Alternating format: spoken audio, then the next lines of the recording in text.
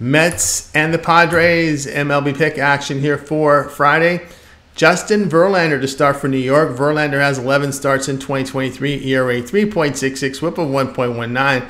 19 year vet fans 21%, 6% walks, ground balls 42%, 1.13 home runs per nine innings. Yu Darvish to start for San Diego. Darvish in 14 starts, ERA 4.84, whip of 1.23. Righty strikes out 26%, 7.5% walks. The ground balls serve 44%, 1.13 home runs per nine innings.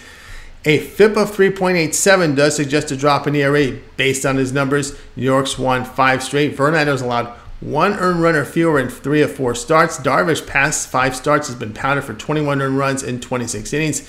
San Diego hitting just 225 against right-handed starters. Play here in New York plus the 113.